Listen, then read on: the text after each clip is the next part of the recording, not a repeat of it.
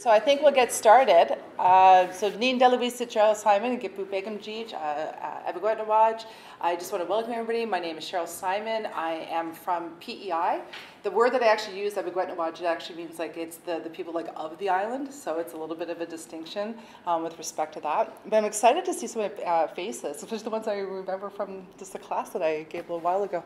Uh, so tonight we're going to be talking about Aboriginal and Indigenous law. Is there a difference? Because the answer is absolutely there is. And we're going to walk through what those differences are. I've brought some birch bark to highlight and demonstrate some of the components about Indigenous law that sometimes is difficult to take out of the abstract. So as I said, my name is Cheryl Simon. Um, I'm an Ulnu Abit, which means that I'm a, a Mi'kmaq woman. The picture that I have here is what I usually use for my introduction. It's my favorite picture, and it's my son um, when he was a few months old out picking sweetgrass, um, not too far from Peggy's Cove. And whenever we're talking about Indigenous law, Indigenous everything, everybody in my family, the elders, community members, knowledge keepers always say, you have to take your kids you have to take your kids with everything that you do. So this was Declan getting used to being on my back in the rocking motion, bending down, picking up, the smell of the sweetgrass patch, because every time the wind blows and the grass moves, you can smell it, you know, the, the heat, the bugs, everything that goes along with it. And this was literally the start of the knowledge transfer, you know, when it comes to, to my, my children. So, my background is actually, I'm, I'm, new to academia. I have spent pretty much my entire adult life working with Indigenous communities across the country. Um, I worked very briefly in a law firm, but realized that it wasn't what I wanted to do. It wasn't why I went to law school. The clients I had, I was a corporate lawyer, uh, they weren't who I wanted to work with. And so I, I left that very quickly and started working with a national organization developing culturally relevant and uh, appropriate governance structures. And so I've been in flying communities. We've been to like some communities we have to go through a ceremony to even get into the talk with the, the leadership in the communities. And it was a really dynamic job. But then having children, I came back and it's been a really fantastic working just in my own territory. And, and so even though my district is Epigwet, uh, it, it's nice to be in Mi'kmaq territory. I remember when I moved home, I stopped in at the gas station in Truro and I walked in and the guy behind the desk says, oh, what's your band number? Because it's like, oh my lord, he recognizes me as Mi'kmaq. It was just so refreshing to be back home again. So I'm going to start out with this presentation just talking about some terminology. Um, because I think a lot of it gets complicated. People get nervous and scared to use words because they're not sure if they're going to offend, what's appropriate. So I thought that that would be a good starting point. And then I'm going to walk through some sources of Indigenous law, what people are writing about it, but then also, like I said, with the birch bark, give some really practical examples of what we mean by it. It's something that I was just speaking with my mother. She's an elder in PEI, and uh, she and Albert um, Marshall and some other people were talking about it's now safer for Indigenous people to start sharing because for a long time it, it, had to be hidden. It was, you know, we were worried about it being misappropriated, used in the wrong way, and, but now it's safer. It's so there's like we have to now, as Indigenous people, go out and start actively sharing more about what we know and how we think and what our worldview is. So I'm going to start giving those examples based on my experiences. Then we're going to move on to Aboriginal law to demonstrate that distinction between the two concepts. And then also talk about moving forward because throughout the course of this, you're going to see the vast differences between Aboriginal and Indigenous law. But what do we do with that as Canadians? Right? How, what does reconcile, like reconciliation even mean? Is it just a buzzword? If we don't put meaning into this and if we don't have action items with it, then it's only ever going to be a word. And when it comes to Mi'kmaq language, we're verb based. We most 80% of our words are based on um, verbs, right? Action items. So I was saying we have to breathe the life into this to make it sure that these are verbs that we're talking about and not just nouns. So let's get started. So first of all, who are we, right? We're on Mi'kmaq territory, but the word Mi'kmaq is not actually from, it, it's a post-contact word. I remember when I moved in with my grandmother, um, she would always talk about Ulnug. And so Ulnug is the word that we have for ourselves. It's, it's what we, we use in our language, and it basically translates to like one of the people And a lot of indigenous nations across this country, their words for themselves usually have a similar translation, right? One of the people. And the cool thing about this is that it's not based necessarily on like, like a, a, particular ethnicity. So if I, as a Mi'kmaq person, am talking about another Mi'kmaq person, I would call them an Ulnu. But if I'm also talking about people that are Cree or Blackfoot or Haudenosaunee or you know Gitxsan, because they're one of the people too, they're indigenous, I would use the same word for them. So it's kind of like a really nice relational type of word to use that connects people to it. So Mi'kmaq is the, the post-contact word. It's not offensive thank goodness, right? Um, but it comes from, like, there's a couple of different theories as to where it comes from. Um, but really, it is kind of a derivative of words for our larger extended kinship systems. So you can kind of picture like one of those, you know, TV commercials, like, what word would you have for this village? And it's like, oh, Canada. So I kind of thinking the same thing. When people came in and like, you know, what word would you have for everybody? Because we had really expansive kinship system, it makes sense that that's the type of word that we would use to describe everybody. So that's where the word Mi'kmaq comes from. But the people that started developing the written language, we had um, a symbol, like a, they call it um, a suckerfish writing system uh, in English, uh, it, it's like a hieroglyph. And so we had a writing system, but the orthography was developed by linguists. And so the pronunciation of our vowels is similar to French. And the K's are like a G, and the Q Q's almost silent, the T's like a B, this type of thing. So in that orthography, that writing system, Mi'kmaq would be spelt like that. But if you're British, and coming to this territory and have no interest in actually learning the language, you would look at it and say it and write it in English, and that's where Micmac comes from.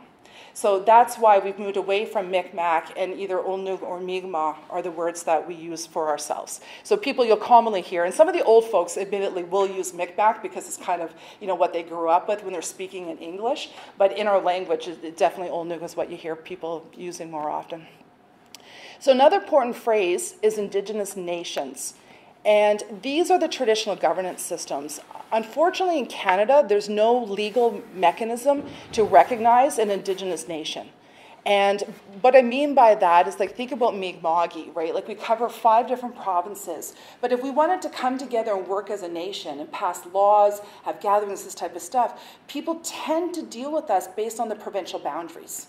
And if we want to hold property, eh, you know, if we want to be like an education authority, for instance, there's no legal mechanism for the Mi'kmaq Nation to exist.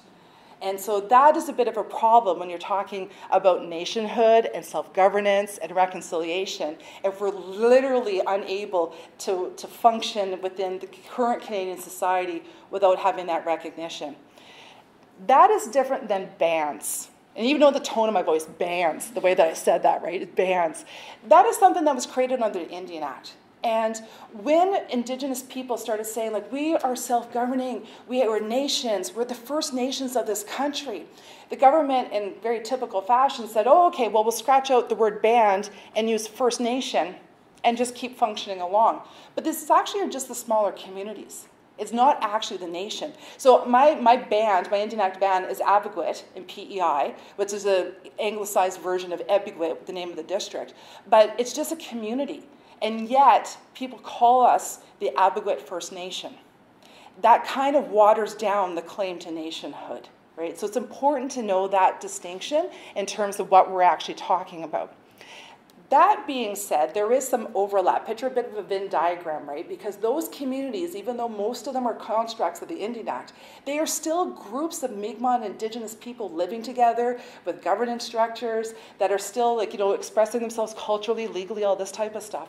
So there is overlap there, but sometimes you'll see people wearing almost two hats, right? Like, am I acting as an Indian Act chief right now, or am I acting as the leader of a Mi'kmaq community? And some bands, like Metepenagiag in New Brunswick, their Indian Act band is actually the same village site that people have been living on for over 4,000 years. So when you go up there, it's a really great energy. It wasn't forced, it was just people never left that site. So sometimes there's overlap, but there is a distinction between bands and nations, and it's important to, to remember that just calling something a First Nation doesn't make it so.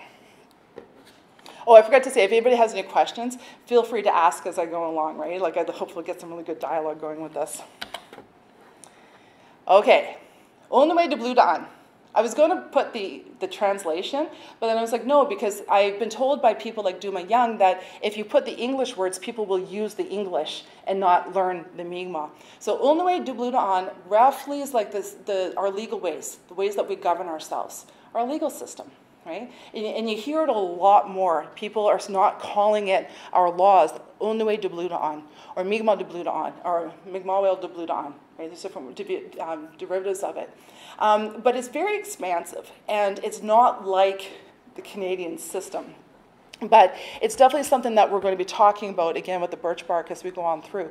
So I, as an Ulnuk person on Ulnuk territory, dealing with Ulnuk de on, it automatically shifts it kind of more into that nationhood concept as opposed to using English words and thinking about laws the way that people are used to looking at, you know, piece of legislation, uh, you know, a court decision, that type of thing. That is different from Aboriginal law. Aboriginal law is where there is intersection between Indigenous peoples and the Crown, right? So treaties, um, impact benefits agreements, things where we're, we're dealing with um, entities that are outside, external to our nations. That's Aboriginal law. And it's really distressing when people who are practicing Aboriginal law think that they're practicing Indigenous law because the tendency is for people to interchange the words when we're describing people, right? Am I an Aboriginal person? You know, well, then I must be practicing Aboriginal law. When, what's the difference if I use Indigenous?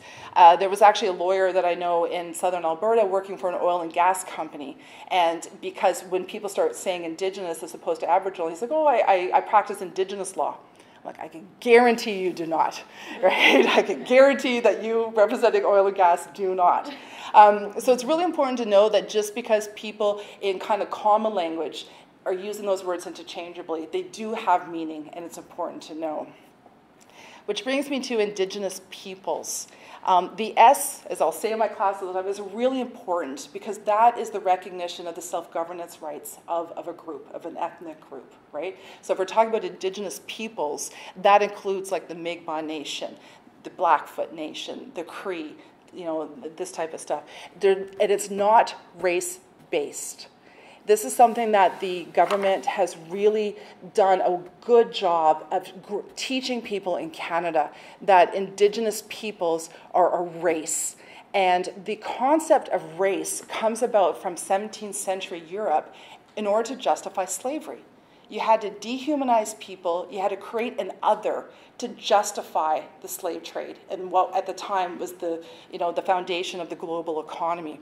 So this idea that indigenous peoples as a nation are a race is something that is just not a fact. It's a, it's a fiction. And so you, when you hear people talking about, oh, like I'm a full Indian or a half Indian or something like this, they're talking about like they, they've internalized a system of supremacy They've internalized a system of like breeding something out and not having a thriving like nation based on like a, a, civic model, like like Canada, right? As a country, there's a lot of different people that make up Canada, but for some reason, when we're talking about Indigenous peoples, people think race, and and they start thinking about things like skin tone, you know, color, this type of stuff, and that that's not what our nationhood is about. So, any questions about this terminology that I've kind of that was a lot to dump on you right at the beginning. But is that, okay, I'll move forward then. Okay, because I have some more. So Ulnuizidi is like, let's talk about Mi'kmaq, right? So again, just a little bit of a recap. We've got the Ulnu, Mi'kmaq, and um, with the Q, and Mi'kmaq with the W. That's just grammar, right? One's um, a noun, one is an adjective. The, the W is an adjective. Um, so that, that's what that is. Our land, if you're talking about Mi'kmaq people, then Mi'kma'ki is the land of the Mi'kmaq. Um, our nation, again, Mi'kmaq or an Ulnuk nation, indigenous peoples, and our legal system, Ulnuwe de Dawn. So I swear that there won't be a test, but I just wanted to give you a little bit of a recap without the, the definition that's there. Okay, so now that we've got that down, we know who I am, um, let's start talking about Ulnuwe de Dawn. See, I shouldn't have put it down with the, with the English. So this is my great, great, great um, one of my, my, my ancestors, one of my grandmothers. She's actually technically a great, great, great aunt, but we don't refer to them that way. It's a, it's a grandmother of mine. Um, my grandfather was from the uh, Shubenacadie, um, but he, his family was actually from the valley, and then the government forced everybody up to, to Shubenacadie um, band, again with that tone, to try to centralize people. So this is one of my grandmothers in, in my family. So when we're talking about Ulnoe de Bluda'an, the great John Borrows, and he would probably laugh at me for calling him that, um, has spent a lot of time thinking about the different commonalities that indigenous nations have when it comes to de Bluda'an, right? What are some things that are kind of similar? And he has five, and he will be the first to say that this list is not eh, um, exclusive.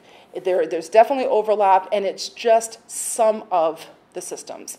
So I, with the humility that I have, would like to add a sixth with material culture, and I'm going to explain to you why I think that that's important. But so this area of sacred law, natural law, deliberative law, positivistic law, and then customary. Some of these are easier to understand as mainstream Canadians than others, but I'm going to walk through and give examples of these under the, the guidance of my, my grandmother. So let's start talking about sacred law. Examples of sacred law include things that, uh, like our creation stories, for instance. Um, and if you go online, you can Google Mi'kmaq creation story, and there's a wonderful YouTube videos that will come up that will walk you through. Stephen Augustine um, is a cousin of mine, and a few people, they, like, they've developed these productions. So I encourage you to, to take a look at them, right, because we're on Mi'kmaq territory. But I want to talk a little bit about another area of sacred law, and that's with what the first treaties are whenever I first started learning about the treaties, the elders group in New Brunswick always said you have to start with the first treaties, right? You can't just start talking about the treaties with the British. You have to talk about the first treaties. And I've really come to understand that that is really critical because these sacred treaties are ancient. They were way before we had contact. And they govern, like with the de Bluda'an, they govern the way that we interact with the beings that we share our territory with. So these first treaties are with things like Madwas, Lamu, and Muin. Right? So again, try not to use the English words, but I thought I'd give you a visual aid as to which animals we're talking about. So there is a story, for instance, about Madwas, up there on the top left. Madawas and the Ulnuk had an agreement. They had a sacred treaty, and it had to govern the obligations and the, and the conditions of interacting with the Madawas people. And we always talk about the people that we enter into choose as people, right? So the, the people, the Madawas people, the Muin people, because there's no distinction in our language in Ulnuk about between hominoids and non-humanoids. We're all beings, we all share our territories, we all have autonomy. And so the treaties were entered into with these beings. So Madawas, for those that don't know, is a rodent, extremely peaceful animal. Right? Very peaceful. They're really cute too. I, I encourage you if you ever see one. They are adorable. They've got these little paws. The babies are just really. I just I want one, but my husband says no. Um, so I do a lot of porcupine quill work. So this is why Madawas is really near and dear to my heart. Right? So Madawas is a really peaceful um, animal. Doesn't do harm. The quills are purely for defense really, really kind creature. And back in the ancient times, or so the treaty was that we would be able to use quills, we would be able to use the animal, but we had to be respectful of the values that Madawas brought to this relationship. And so this is why we use the quills in our art form. You know, we do sometimes eat the meat. It's the last step in my relationship with Madawas. I haven't quite gotten there yet, but I hear it's tasty. Um, but this, this, this coexistence that was based on responsibilities and obligations. But there was a warrior in Unama'ki who took the quills and thought, you know, that would make a really good addition to a war club right? And so attached the quills and used it deliberately to inflict pain. When Madawas found out about it, livid, this was a violation of our agreement with respect to how we were going to interact with each other. Mi'kmaq people broke it. Unama'ki has never had porcupine since. Um, they've even tried introducing them. And if you think about how prolific breeders uh, rodents can be, it's pretty astounding that it hasn't worked. So this violation is really in the old times, and we still haven't atoned for it. They're still not back on that territory. Right? So these are the type of stories that when I was starting to do my art with porcupine quills, I was taught because you have to understand the conditions of your interaction. If you're going to harvest the quills and you're going to use them, you have to make sure that you're upholding the obligations and the peaceful nature and what the conditions were that Mawdrwas put on that relationship. So this is an example of some of the sacred law, this the first treaties that we have. I have a lot of stories with, with about Blamu and Munisku. Like it just Munisku is actually there's a story about um, Munisku is the uh, the female and she adopted a Mi'kmaq boy and, and, into the family. And, and so this idea that like that is the degree of relationship. And we have a lot of teachings from Muin.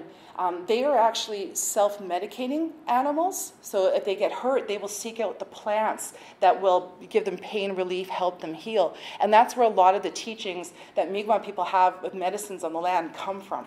So there's a lot at stake when it comes to upholding your responsibilities with these areas of the law. But they're also the foundation of what went into the later treaties with the British. Right? They're the reason why some of our conditions and some of our like our practices and our debludan um, are not we, we can't compromise on them because where we're coming from with our worldview goes back to the ancient times. And we are still upholding. This is why when if I harvest, I have to make offerings. This is why if I'm taking bark, I have to go to the tree and tell them who I am and what I'm going to do with the bark that I take from it. Right? So they're very strict teachings that are still being taught to people. And I think people think that because it's a modern era, you know, it's 2024, that this stuff doesn't still apply. But this is what we're actively teaching. For instance, when I have my child on my back and I'm out harvesting, he has to know the responsibilities that he has with it, and that all comes back to the sacred law. And again, it's not for like, I do not want to be the one that drives some of these animals off our territory. So, another component, there's two words here. One of them are probably familiar to people. Netukulimk is the harvesting, like only take what is needed right? So I've already talked about the fact that Ulnug doesn't mean just humanoids. So what is needed is not just what humans need. It's also what Mawdrwas needs, what Blamu, all of the beings on our territory, right? And so Netukulimk has been used a lot to explain to people um, fisheries you know, with, with, the fishing activity post-Marshall, this type of stuff, about why there's concern about the way that the fishery is being regulated and the principles that Mi'kmaq people have. But some of the elders that I work with in New Brunswick, they, it's a bit, they're getting uneasy with so much focus on Netukulimk because it's a harvesting activity. And that seems to align with Western, um, uh, Western ideals regarding individual rights to harvest. And that's not the foundation of what our laws are. You have to couple that with ideas like Unquotum, which is the caring for something. And when you do that, it decenters human activity and makes the resource the center and the focus. Because you can't, if you're not caring for what it is that you want to harvest, you won't be able to have medical function. Right? So it, it's more about balance and making sure that the harvesting is only a subset of what we do when we're out in the woods or on the waters or things like that, and you have to understand it. I put this picture here of a basket to illustrate this point. So this basket is made out of black ash, Wisco, and it is um, under threat by a beetle called an emerald ash borer beetle. There's no stopping this beetle on this territory. It will kill off every ash tree. Um, we, we haven't figured out a way to stop it. It's an invasive species. And I cannot even begin to explain to you what it feels like, I'm going to even get emotional, to know that activity that my ancestors have done will end in my lifetime. It will end. And so if we take these principles of Unquotum about caring for something and Netukulimk, what it does is that it makes my needs as a basket maker not the focus of this. We've been spending a lot of time with my uncle. I made this basket for him as a reflection to the teachings that he gave me as he was teaching me how to do baskets. It was my gift to him to demonstrate how well he taught me. And part of those lessons have to deal with Unquotum and Netukulimk, because with the, with the beetle coming, you go out to the woods, and there's a temptation to say, well, we should just like cut down the trees that are still healthy. That way we can have a stockpile, and we can keep teaching the kids, and we can do it, right? But that's also a very commodification kind of approach, individualistic approach to it, that would completely disregard the Mi'kmaq teachings of things like Unquotum and Netukulimk. And my uncle was like, no, because if we do that, then the beetle's not the problem, then we're the problem, right? So his focus and what we've been really working on is documenting the process, the step-by-step process of how to do um, splint basketry that way and, and collecting seeds. And the, the trees only give seeds every once every seven years and you have to have the mature trees that give up those seeds. So, and there was a couple when we were out in the woods this summer, going to say, no, we can't go get that because I got them just two years ago. We're going to have to wait another five years before the seeds come. And I'm like, let's hope that that tree lives five years before the beetle kills it, otherwise we won't be able to get more seeds. So we've been focusing on getting seeds, documenting the process in the hope, in the real hope that when the beetle has finished ravaging the species, that we will have enough seeds and hopefully the woods will be in a condition that is good enough to be able to replant and then we'll have stored away our knowledge with the seeds and then future generations can bring it back. What I'm worried about, though, is that part of the reason why so many of the trees are under threat is because climate change is making them sick. Right? You go through the woods, you see leaves on trees, you think that they're healthy, but they are not. And so I don't know if the beetle would have been able to get as bad as it was if the woods were healthier, right? So this is, again, the practical application this summer of these principles that, that we're using. Any questions about that? All right. Oh, yep. Uh, right now, let's just hope they don't mutate. Let's hope they don't. Um, and also, it like it takes seven years for the tree to get the seeds, and then it takes three years for the seeds to actually germinate to even get to the sapling, right? So like we're we're talking about time frames that are just not capable of dealing with that kind of threat. So it, it's just fingers crossed. Okay. So let's talk about natural law. This is why I brought the bark. Natural law, um, when you read John Borrows' description of that, I think that that's an area that people have a lot of difficulty trying to visualize, right? It's very abstract. Like this idea that you can know the land in a way that you are actually getting legal principles from the land itself, and the land is speaking to you. And I always kind of laugh when I say that because I th- when we used to talk about the land speaking to us, like look what Disney did, right, with the talking trees and Pocahontas and stuff. That, that's not what we're talking about, right? Um, so when I talk about talking with the trees, um, it means that you have to when you when you start working with them, you have to learn the tree, right? Like I said, you literally have to go out and introduce yourself to the trees. So this is my friend Kay. She was one of my apprentices dealing with the porcupines. She is teaching her son Riley. This is the picture of his first harvesting of a birch tree. And if you see, she's got her hand on his hand to literally show him the amount of pressure that's used, you know, like this every step of the way. So the trees, when we harvest the bark, it's a very, it's a sustainable practice um, what happens is that it, this sounds weird as humanoids, but like after the solstice, the tree starts actually already preparing for winter. It will pull all of the sugar water out of the, the leaves and the branches into the core of the tree, run it down to the roots in preparation of going dormant. So, because of that, all of the layers of bark fuse together and it comes, it, like it feels almost leathery right? And this is when we harvest it to make wigwams, to make canoes, um, and it's strong. Like you, you, could go, like they used to go um, ocean-going canoes in, in birch bark, uh, made out of birch bark. And so this is what happens after you've harvested. A scab will form around the tree. That will stay on for about five years or so. And then when the scab falls off, this is what the tree looks like. And the cool thing is, is that if you really know your trees, you can actually tell from the outside how thick they are right? You can also tell where they are in the healing process. And it's really frustrating when people will like, oh, let's just go harvest. Like, look at that tree, but they don't know that it's already been harvested. Like, you can tell the difference, like the kind of like the strip, hopefully, on that last picture as to where it was cut, like you know, versus with the older bark. Um, so you have to really, really get to know the species. And the reason why I'm telling you all of this is because I'm kind of setting the stage for talking about the natural law. What are the trees saying to us, right? So I, being from PEI, usually go home to harvest in my own district. And Kay and I and a couple of other ones, we go out. We're the only ones really in our communities that are actively harvesting bark. Um, we know that the trees are ready. Well, we, they used to be ready when the fireflies first come out. That's when the trees are ready. But with climate change and pesticides, we don't see a lot of fireflies anymore. So now we kind of have to look for other markers. But that used to be when we knew that they were ready. Um, so when you go and harvest a birch tree, this is what healthy bark looks like. Okay? You see like really great color, um, like, like it's just, it's, it's beautiful. Right? Well, I find it beautiful. You might not find it, but it's, it's beautiful. You, you just look at it, right? Um, bark that from a tree that is not healthy will look like this. Can you see the bubbles and everything? And it does this even when in the time of harvesting. And what happened was, was last year, it was post Fiona, right, the hurricane. And so when you're out in the woods, it's a, it's a real um, disservice to forests that we have been taught in Western science that trees compete against each other.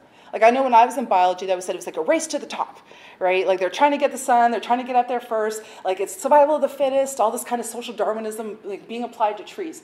No elder that I've ever talked to or knowledge keeper that I've ever worked with that knows trees ever talks like that. What they do is they do this. And Western science is starting to catch up, and they say they know like trees will pass nutrients to each other. Um, when we cut down an ash tree to make our baskets, the root system will actually be sustained by other trees with leaves until it can actually send up sprouts that will then get enough leaves that can produce its own chlorophyll and, and feed it, right? So they, they feed each other. There's a lot of back and forth. Um, they're capable of tracing um, something like the proteins, like if a bear eats a plamu on the side of a, a stream and it breaks down the nutrients from that fish, they can trace throughout the woods. Like it's a very, co- like the coexistence, this is really, really strong in the woods right? And uh, again, on Guodam, we're not the only ones that care for the trees. Other trees do too. So Kay and I and my other friend, my cousin Melissa, we were out harvesting our bark last year, and it was post Fiona, and 40% of the woods in PEI were destroyed by that hurricane. They're in horrible shape. But there are pockets where the woods look okay. So we went out last year thinking, okay, well, we were very deliberate with where we go. We always check up on the trees that we've harvested before because we have that stewardship responsibilities. They get to be kind of friends. Um, so we were out, and even the trees that looked good and were in little areas where there had been no hurricane damage looked like that. And the moment we were like, oh my. So then we checked, like, what is happening was those healthy trees were sending their nutrients and compromising their own health to try to help the trees that were around them. And so once we realized that that's what was happening, we voluntarily agreed as a group that we were not going to harvest on PEI. And so that rule, that prohibition of human activity, didn't come from the government. um, anyway, didn't come from the government, didn't come from the elders, didn't come from our leaders. We got that message loud and clear from the land from the trees, right? And so we'll, we'll, go and check and see how they're doing this year. Hopefully they'll be a bit better. Um, but this is an example of natural law.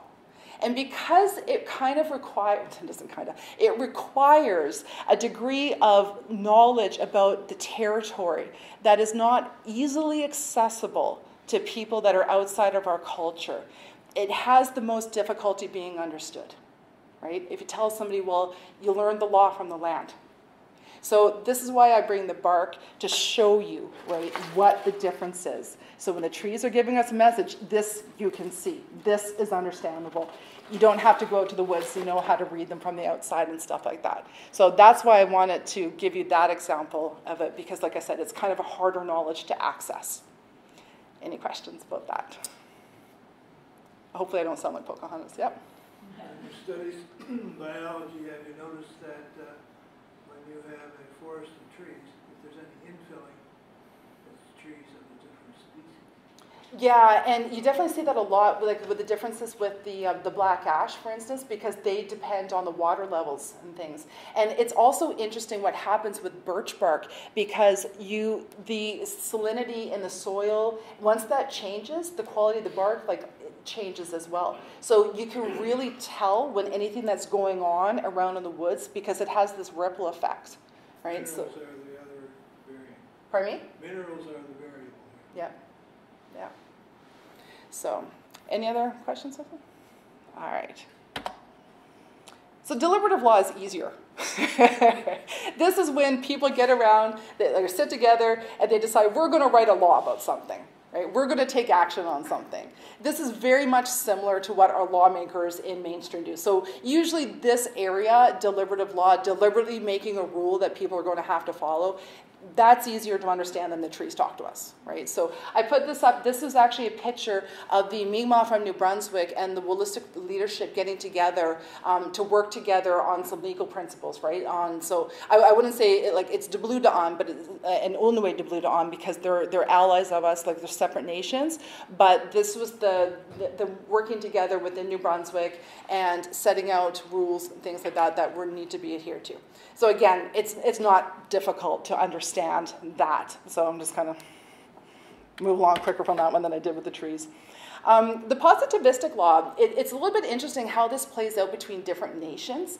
Like I know as a Mi'kmaq person, we don't have, um, we're very much consensus based where our decisions are made traditionally with the entire community. And if something is being decided, the communities have the ability to ratify even if the leaders have agreed on something. So we have this like communal expectation that if our leaders are making decisions, that they will come back and ratify with the community.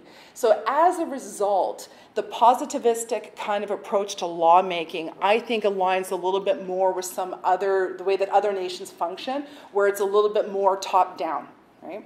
So with Mi'kmaq, we, we tend to be a little bit less hierarchical, not less, very like unhierarchical. Even the, um, the word that we have for our chief, uh, means somebody who cares for people, right? So it's not about, you know, authority and imposing on people. But an example of this is actually the reading of wampum belts. And so these are the terms and conditions of um, agreements that were made, that were documented and codified using quahog beads in a, in a woven pattern that reflects the, the terms of the agreement. So reading that, like it's, it's, it's okay, this is what was agreed to, we have to follow it. Um, but again, some other nations that are a little bit more hierarchical, they have definitely a lot more positivistic law than I think we have in, in Mi'kma'ki.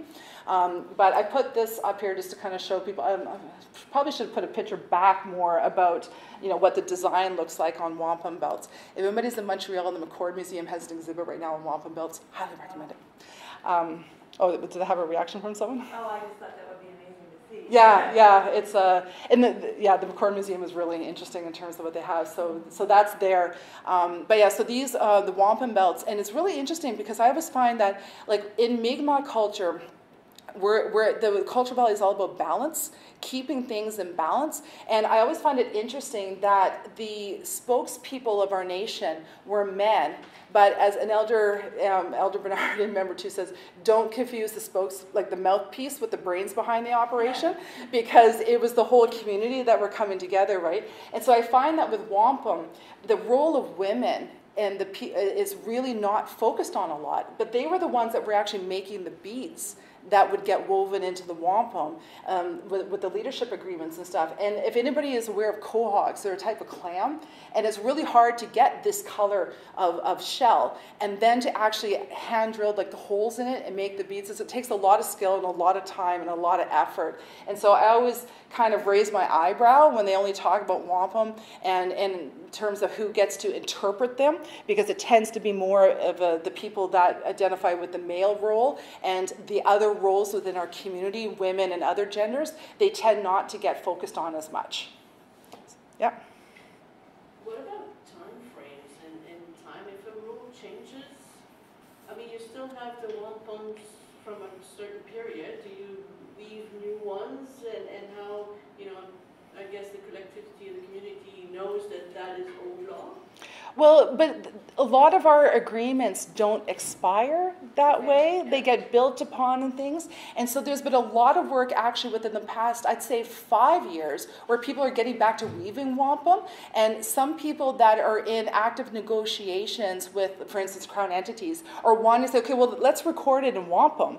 And that will freak bureaucrats out, right? like this idea, but it's like, but this is how we always did it. And it's like, it, it's really amusing from an indigenous perspective perspective to watch the reaction of a group of people like, but how do how are we going to know what it says? How are we going to know the terms? And it's like, oh my, yes, isn't that difficult when you're not the one that's in charge of holding the pen or the quahog shell, right? So it's but yeah, so definitely like there's there's a move to create new ones, but the old ones haven't expired because they're meant to kind of continue on and like they, they reflect agreements that were meant to be kind of almost in perpetuity right? And it's it also has to do with the fact like whether or not you're a linear thinker or not that plays into it all as well. Um, but this really like reading wampum and the idea of wampum and and the idea of like like I said like not controlling the pen it really disconcerting for a lot of people. Well, they need to be taught how to read them. Yeah. Yeah. I was just wondering with the wampum belts and how, um, like, different indigenous communities have quite different cultural customs and, and so the wampum seems to be something that's fairly universal, like I saw, I don't know, I guess I'm asking, I saw when, um, when I was in a museum in Philadelphia in the fall, and they were talking about how the wampum had not been respected by the Yeah. the people in the city of Philadelphia when they were negotiating with the indigenous people, so I just thought it seems like maybe this is something that was used. It, it's not completely universal, but there's definitely like clusters of like nations around different like language groupings and stuff like that where it was used, as well as the interactions and the international diplomacy between nations where wampum would have been reflected. So it's it's definitely not universal, but it is um, there. It's more than just a couple of nations. All right. So customary law. This is actually uh, the picture on the bottom is um, a group of the women in, in my family. Um, this is again something that is more, um, I think, accessible to people in terms of like think about customary adoption, customary marriages. Uh, a lot of people don't know that one of the first recognitions of Indigenous law by the common law in Canada was actually the recognition of Indigenous marriage law. And what it was is that men of European descent had taken, um, or taken, had wives that, and they married based on the indigenous law of the nation, and then wanted to marry European women and have heirs to inherit their property, and wanted those marriages set aside, but the courts actually recognized the indigenous law. Um, so it's something that is not foreign to Canada, and even the Indian Act will recognize cost, custom adoption. So you don't, as long as you're upholding the indigenous law of the nation information they will recognize that adoption without having to go to court and you know go to family law and that type of stuff. So I put up um, this customary adoption and the foster care just because the, the, there's been a lot of codification around education and children. And if you just think about the history of the residential schools and, and children apprehensions and stuff like that, so it's not surprising that there's a lot of work regarding codification of this to make sure that it's really like understood. But there's there's a lot of customary law beyond that. Like that's just a real small drop in the bucket. Um, but again, like you kind of have to really get integrated to kind of understand this. Um, so material culture is the one that I've added. And like I said, again, with trying to be a little humble, it's like, hey, John, what about Waltes and material cultures and stuff? And this, again, has to do with the differing worldviews. So Waltes bowls and other items in our culture will have an animacy because we, we, we divide the world up between animate and inanimate. And so something that to mainstream Canadians would just be like property that you can buy, sell, trade, all this type of stuff. That's not actually appropriate for some of our items because they actually have animacy. They are a being, they're an entity in their own right. And when you think that there's a lot of protocols that come up around items, excuse me, where it's also inappropriate, for instance, for museums to put some of our things behind glass because they're meant to die a death right? Like this, this idea that you would keep something in perpetuity, keep it pristine, not use it, not touch it. And like I remember my grandmother was always just really flummoxed by this because like, she was a master basket weaver. And people would always come and say, like, Mary Jane, like, can you fix this?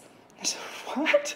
Why would I fix it? And they're like, well, you know, like we, we love it and stuff like that. And she's like, well, like they can't let it go. Like they can't let it die. So she fixed it. Um, and my uncle always jokes that our family baskets have a lifetime guarantee. Um, but they are meant to return to the earth. And so this idea that there's laws around what you should do with them, how they should be treated, how you get laws from, from the sacred items, this is something that, again, is at odds with the commodification of things right? Um, so Waltes bowls are a really interesting story in Mi'kmaq culture because they are um, a gambling game. And what's fun about them is that you draw on your connection with your ancestors to help you win.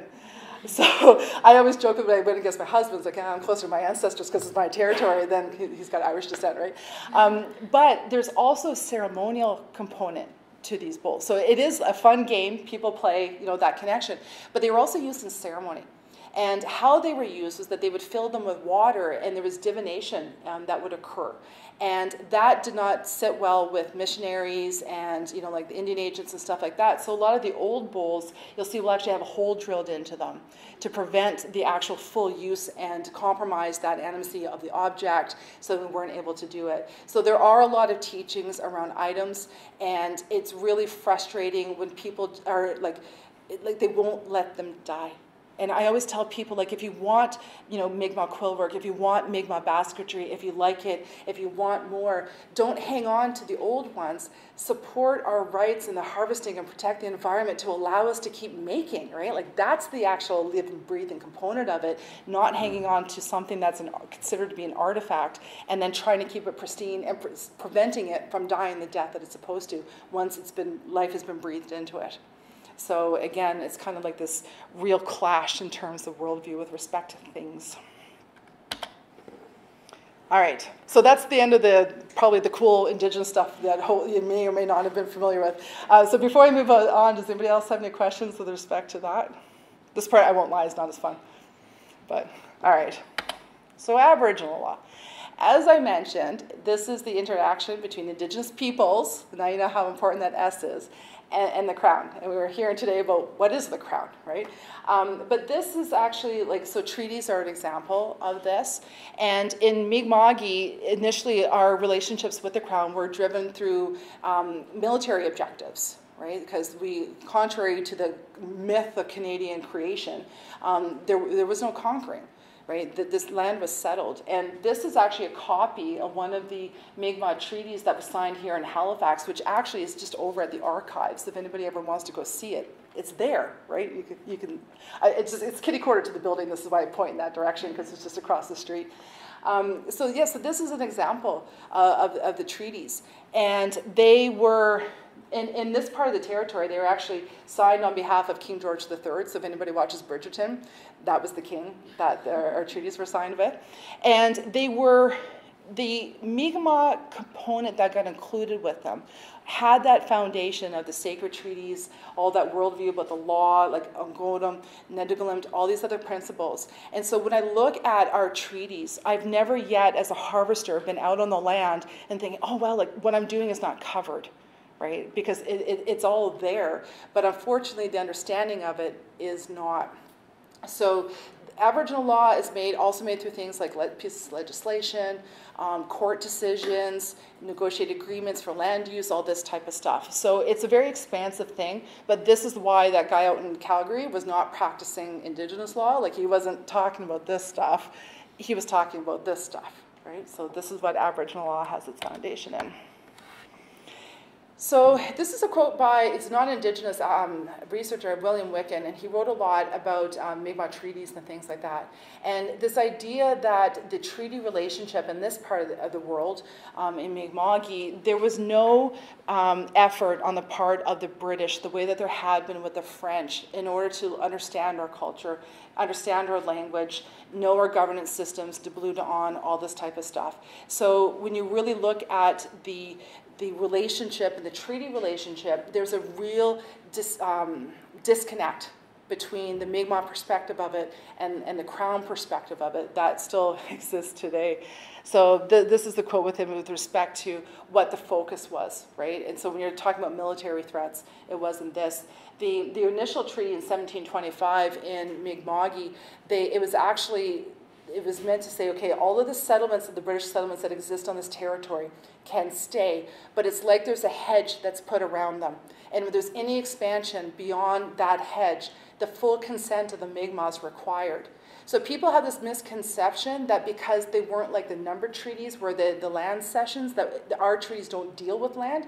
They do, but in a very declarative way in terms of the territory, right? But again, there was a bit of a disconnect with respect to what was understood by that.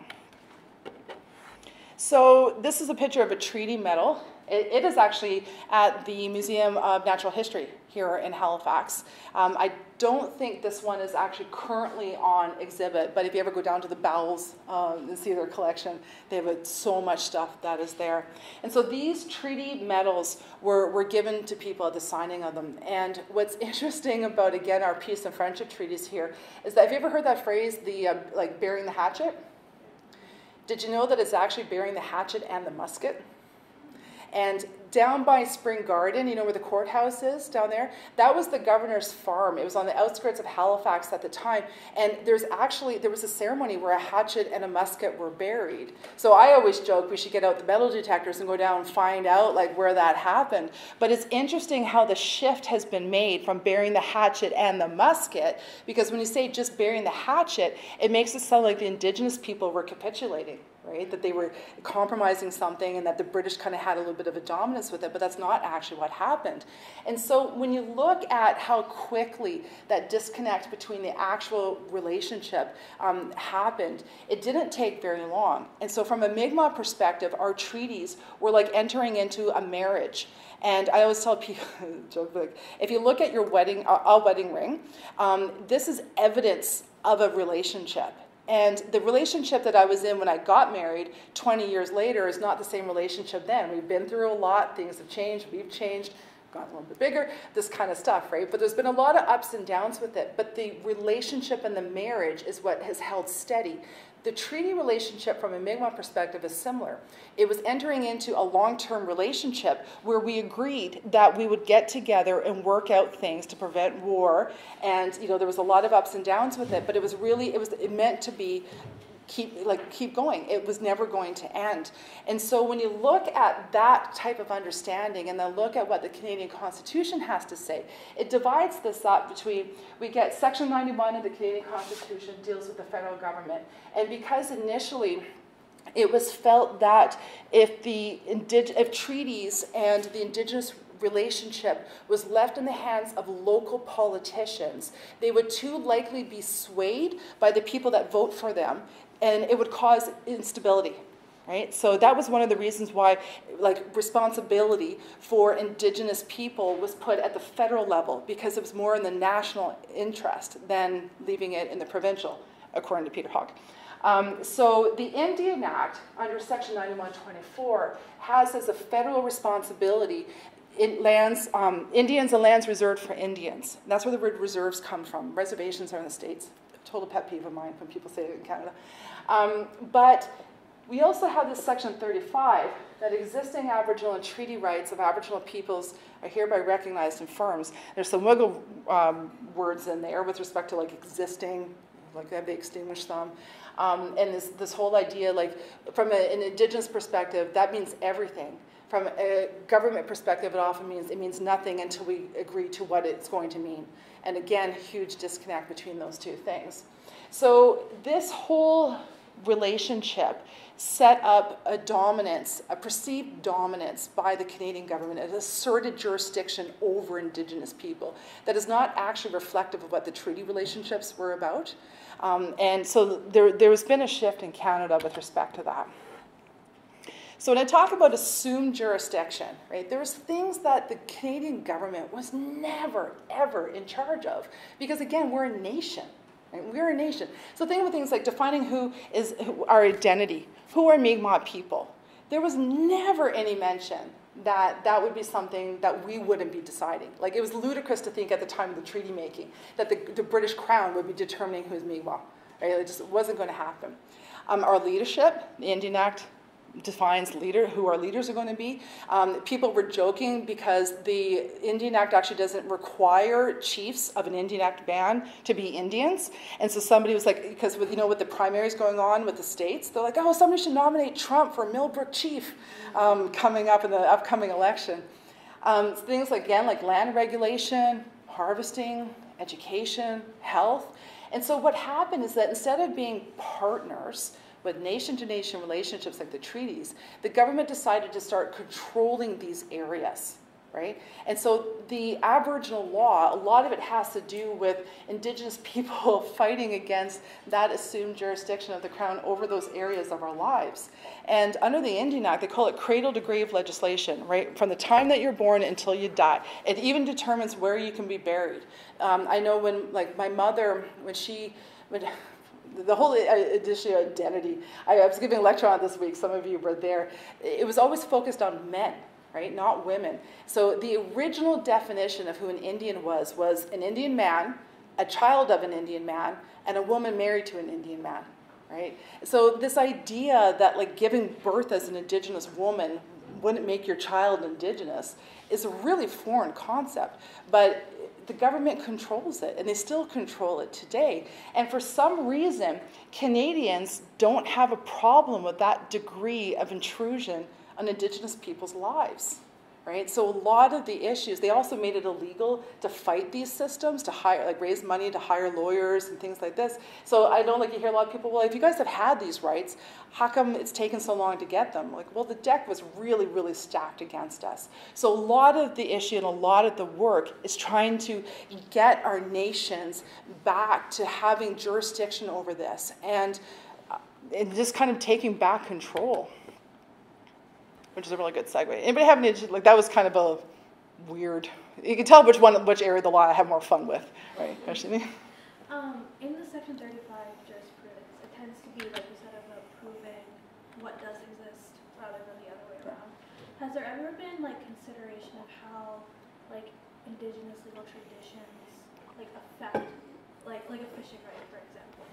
Like, the fact that that exists under maybe a different law, has that ever been a consideration? Not enough. Um, because part of the problem, and I've talked with some lawyers that work, for instance, at the Privy Council and things like that, they truly think that everything that could possibly happen in Canada is accounted for under these two sections, right? So if it's says Section 35 right with Aboriginal people, oh, well, that's the federal government.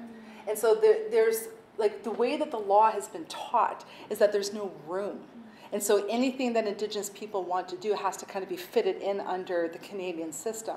And so it's taken a lot to get people to the point when they're like, okay, we have multiple legal systems in this country, and we need to start working with them in conjunction with the British, like the common law system, and not have it always be assuming that that is the default.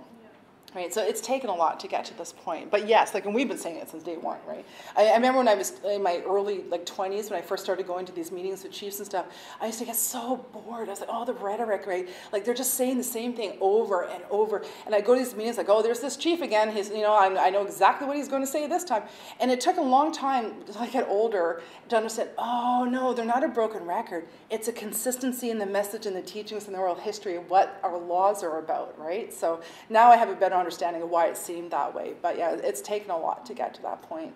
Um, just the fact like that we have laws you know, and, and, there's been a lot of horrific quotes from the bench saying that, you know, their savages didn't have the capacity for it and stuff. And, and sometimes I won't lie, it's almost easier to deal with the overt racist writings from the court as opposed to the like recognition that doesn't mean anything because it essentially has the same effect. And that's really like, what difference does it make? And it's really unfortunate when you're talking about rights recognition. Yeah. Any other? Yep.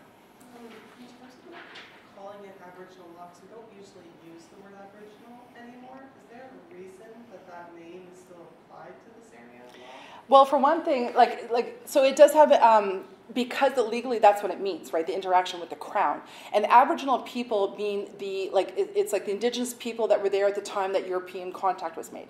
So it's kind of like, as a Mi'kmaq person, I have Aboriginal rights because we are the ones, when Europeans showed, you know, we were here, this type of stuff. That it, it's a little bit different than people that were kind of new to the territory, but happened to be there when Europeans arrived, but they were new to, to the area and stuff. Um, it's really, so yeah, so they've got legal definitions to them, but in general conversation, people don't understand the differences. And you see, like I see this around Facebook all the time, abnormal, aboriginal, that's why it's offensive. But there's actually a legal definition to it, right? So it's important to kind of know it, to be able to use it appropriately. Like I love just constantly using the word Indian because even if the word Indian Act under here disappears, we're still here in the Constitution as Indians, right? So even if the Indian Act disappeared tomorrow, legally, my like I'm still an Indian, and so what, what are you going to do with that when there it is in the Constitution. And it doesn't say Mi'kmaq. And so then the idea is like, okay, well, does Indian, do they mean Mi'kmaq? Do they mean Blackfoot? Do they mean Cree? You know, that type of stuff. But yeah, but that's why. So it, even with their own communities, there's not a lot of like thorough understanding of why Aboriginal is used. But it's got a very specific context. Any other questions? Yeah, so it doesn't say First No. Yeah. So even if the Indian Act goes away, and the question is, is that I know again talking with some of the lawyers at DOJ, they think well that because the Indian Act defines Indian, clearly that means the same definition applies here. But these are two separate sections. So do they have two separate meanings, right? And this idea that yeah, like maybe one because this is Section 35 Aboriginal Treaty Rights, maybe this actually means Indian according to Onaway Bludaan and not the federal government under the Indian Act. That takes a lot of persuasion. But that's how we interpret it and what we tell DOJ we're going to do. So I'm currently working, uh, I have a mandate from the chiefs in New Brunswick to displace the um, federal jurisdiction over identity. We're just like, we're done. We're done with it. It's been seven generations. You made a colossal mess. Get out. and uh, they're like, what do you mean? So that'll be fun. Uh, yeah, so all of this. Okay, so let's talk a little bit more forward. Okay, so one of the things that we have to understand in this country, one is to even understand those terms, right? The difference between Aboriginal law and Indigenous law, but also the fact of how much, I always say like creation mythology that exists around Canada, right? They're so quick to dismiss our creation stories as something that's mythological and has no founding of fact, and like it's absurd. Like how could we put that possibly true? Like Glooskap brought the island of PEI, but the creation story surrounding the Canada is just as fictionalized right? Well, not that ours is fiction, but theirs definitely is. So there's a lot of legal fictions that have the foundation of Canada, but we're not taught that it is so, right? So the doctrine of discovery, you know, the, this idea that when Christian people arrive, then they can, as long as people are not Christian, they can take things, right? Terra nullius, no people were here, right? Look at Australia, terra nullius, there was no, it's like, no, there was indigenous people that were there. Um, doctrine of reception, this idea that when Europeans showed up, that the indigenous, like the only way to Blunaan didn't exist, and therefore all of the British law came to Canada and filled like there was just, there was room for it. The idea that there was actually laws here that were valid, that were related to the territory, and also the idea that colonial authorities at the time didn't know that. Right, because our treaties were most of them were actually negotiated under protocols and custom, like and the indigenous legal systems of the nation. Um, you look like the British hated having to spend so much money on feasting and gifting when they came to Mi'kma'ki. The French were definitely used to it, you know, but the British hated the expense of it. But they had to do it because that they had to follow only way to Blunaan when it came to working with people, you know, in this territory. Um, anyway, so this idea that there was no laws in Canada and all the British law just transferred over. You know, like I always I talk a lot about how William the Conqueror conquered England and set up absolute ownership of all the land on that island. And that, of course, is relevant to Canada in 2024. Right? Tell me that that's not mythology. Right? But, but it's a legal fiction that's the foundation of this system. Um, so yeah, the transfer of sovereignty via French. Kent, um, I think it's Kent McNeil writes about this, um, about the fact that the people will say, well, when the British conquered the French, they got ownership of Canada from the French, right? So we beat the French, we get the spoils of war, therefore we, that's how we own the land. But what he says is that under French law, there was actually no mechanism at the time to actually acquire indigenous land. So the question is, how did Canada get the land? And that's why they didn't is actually the answer, right? So all like unpacking all of these legal fictions that we're taught as fact and as the foundations law, and then to start to understand and build up an understanding of indigenous law. Because learning Onui de Bludaan, it's not just about like um, learning the, the law, like Angola. You have to learn the language. You have to understand the land where the language came from, the worldview that goes into it. Otherwise, it's going to be really difficult to really unpack it. And the tendency is to have the default be the common law, right? The British system. That's what people are comfortable with. And so that's why things like Netukulimk, people are starting to get a little nervous, right? It's talking about harvesting, like that, that sounds a little bit too much like what, you know, extraction and, and, and harvesting in, in terms of how Canada does it. We also need to deal, so reconciliation, what does that actually mean? Um, the government actually just had a report that none of the TRC calls to action were fulfilled last year in 2023. None of them. When it came to MMIWG, the COVID was used as a reason as to why the action plan hadn't been developed, let alone implemented. So we have all of these, like the UNDRIP, the United Nations Declaration of the Rights of Indigenous Peoples. We have the findings of cultural genocide in the Truth and Reconciliation Report, actual genocide found in the MMIWG report, which was accepted by the government, right? They accepted the report. Um, so we have all of these things and a recognition in our Constitution of Aboriginal rights. Canada does not have a recognition problem. We have an implementation problem right? An implementation problem. I recently was talking with a lawyer that was telling me that even like think about the fisheries here in the Maritimes, where the moderate livelihood, right? That they found that the Mi'kmaq have a right to the moderate livelihood. The case law actually, my understanding is, comes from the United States, where when they found that there was a right to the moderate livelihood, that meant 50% of the fishery. That's not how that got implemented in Canada right? So we have a lot of recognition of our rights. We don't have implementation of them. And a lot of times we see the political pressure as part of it. I always find it really disturbing that there has been some, as documents get declassified, right, cabinet documents and stuff like that. I was talking about this in class the other day about how um, they focus, they had focus groups where if indigenous, the, the situation for indigenous people is contextualized in human rights, violation of human rights, Canadians get outraged by it. They want change. They want something done. We see ourselves as Canadians as being proponents of human rights.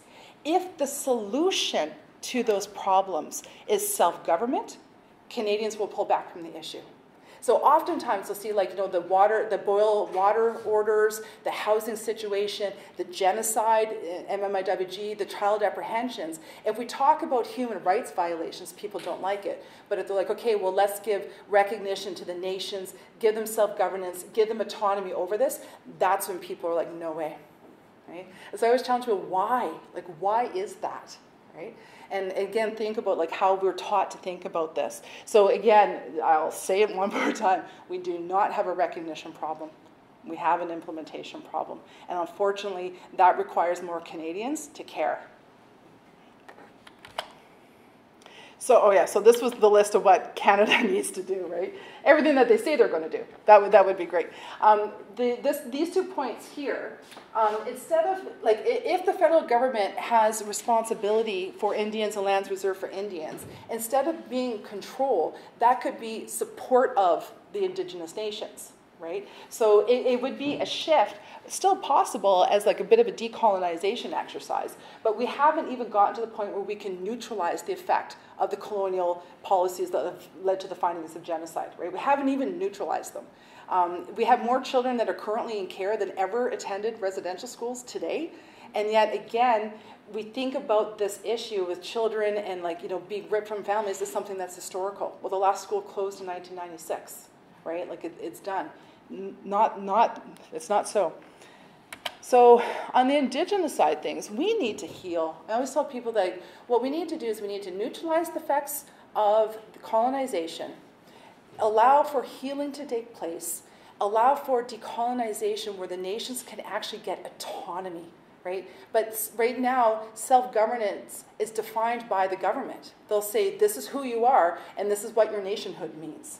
That's not self-governance. And also, if you have inherent rights, Inherent rights mean that it means no, like you have them regardless of what's going on external to you. If we have inherent rights as Indigenous people, why do we have to negotiate what that means with the Crown? Right? They're inherent. But again, we don't have that approach to this. So we need to be able to neutralize the effects of the ongoing genocide. We need to decolonize and get autonomy over these issues. And then we might be in a position where we can start indigenizing and working as a nation. But people kind of want us to go from recognition of the, the right straight to indigenization as if 150 years hasn't happened. Right? And we just we don't have the capacity to do that. And we see that happening a lot where the work tends to get offloaded onto the shoulders of indigenous people. And it's like, it's not our, like anything that deals with, like, take for instance Dalhousie's recent uh, verification of Indigenous identity, right? And say, well, we're going to go to the nations. The nations don't have an entity. Like the Mi'kmaq Nation doesn't have con- like um, consensus as to what the identity means. So, what are you going to do with that fact, right? We're not at a position as a Mi'kmaq Nation to serve the needs of the university. So that's not our problem. We need support in order to get there, and the university has to work on decolonization, right? So, but there's this expectation and a romanticization. Oh, we'll leave it to the First Nations people, and they will tell us what to do. We're not there yet on a lot of this stuff, right? But we have to have Canadians working on the problem and not just thinking that because, oh, it involves Indigenous people, it's an Indigenous problem, Indigenous people have to solve it if, if it was our will that was the critical for this, we never would have had this happen to begin with, right? So we need to have, like, again, work on understanding on the way to Bluda People, again, romanticize how much colonialism has been internalized by a lot of people. And that's not, like, our fault. It was just a very, like, there was a lot of effort put into making sure that we internalize some of these components. Um, asserting sovereignty, asserting jurisdiction. And it's one of the things I always tell people, like, I probably should back away a little bit from the microphone. Like, when I'm in the woods, I don't care what the Supreme Court of Canada says. And I recognize as a professor of law, it's kind of like, how could you say that? Because when I'm out there, it's the natural law, it's the teachings of my elders, that's what's ruling the day, right? So we have to make sure that we like have that understanding and the strength to do it and asserting our sovereignty, asserting jurisdiction over these areas. Because if we don't, the status quo is just going to continue to chug along. And then that's my last point. Yeah, Lucy? It's unrelated, a bit, but it's still related. I don't have any children, and so I don't know what they learn in school. But what do history, uh, history books teach? It, it is changing. Like you take, for instance, Nova Scotia, they have at all levels of, of the, from K to 12, or primary primary to 12, every year they get culture, like Mi'kmaq teachings and stuff, a curriculum's been developed. And that's fantastic. Like I love the fact that when I go to my kids' school, everybody learns the honor song. The problem is they haven't actually also taught the teachers how to do it or properly resource them and things like this, right? Um, and it's like even take the language. They, they, there's resources and there's immersion schools, but they're on reserve. And I always ask people like, why do people think that only Mi'kmaq people should be taught the Mi'kmaq language? Yeah. Right? Like if you're on our territory working, like why is this not viewed as something that Canadians should understand? Right? Why do the crown officials that come to negotiate with us not have to go through Mi'kmaq language training? Right? Like it, it's, it's kind of astounding when you think about it. So there is definitely a lot of headway that's been made in terms of the education, but there's still like there's a lot of catch up to do, and it tends to again like this idea that it's an indigenous thing for indigenous people only is a real Yeah, barrier. but- Yeah, exactly, but if we change the education and the, the history books and the other books, Yeah. know, like uh, nature, uh, uh, hopefully, uh, we'll, we'll reach the, the young people and they'll open their eyes. Yeah. Uh, Yeah. And I mean, like, in some of the ways that Indigenous people teach, like going out on the land, doing land based learning, everybody learns better that way. Everybody does. It doesn't matter what your ethnicity is, right? It's more effective. And so, again, like this idea, like, why do we do things the way that we do? Right? Like, so, it- but the problem is, it takes a lot of reflection on can, Canadians' part. And that being said, like I'm, I'm middle aged, right? But I, I even over the 20 some odd years that I've been working in this area, I've seen a lot of growth and a lot of movement, but a lot of it has come because more Canadians care. And in some ways, technology has really been helpful because you get a lot more access to resources and stories and things like this, right?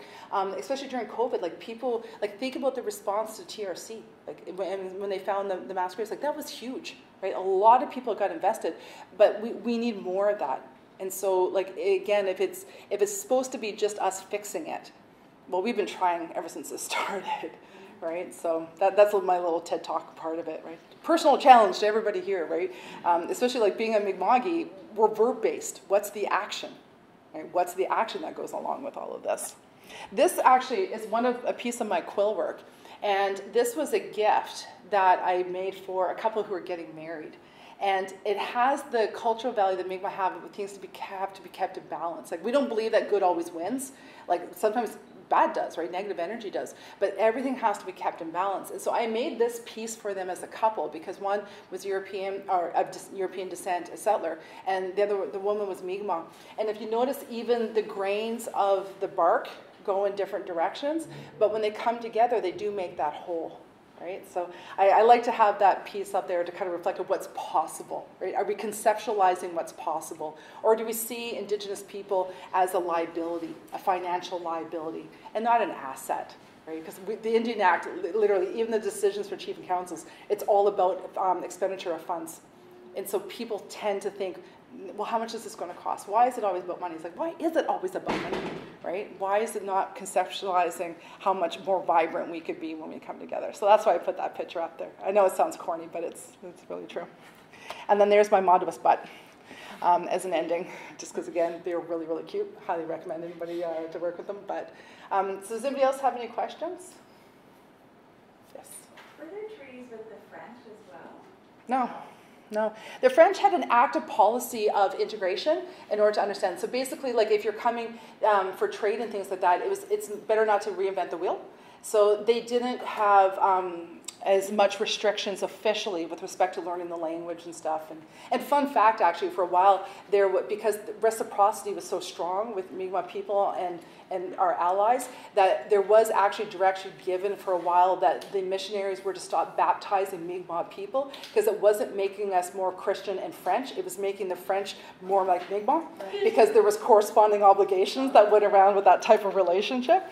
Um, so no, it was a different relationship. It also has been romanticized. There wasn't as much intermarriage as people think right? People think that there was a lot.